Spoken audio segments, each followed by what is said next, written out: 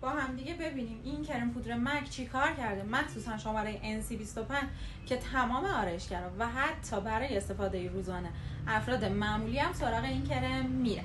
کرم پودر مک محبوب همه شده به خاطر کاور بالا بافت سباکش احساس خفگی به پوستت نمیده و اینکه این کرم پود برخلاف بقیه کرم پود را بافت کیکی و برجوری به پوستت نمیده. می‌تونی چند لایه ازش استفاده کنی اگر درست پیداش کنی. و اصلا هم کسی نفهمه که تو چند لایه کرم پود زدی. فقط یه کاور فوق العاده عالی به پوستت بده.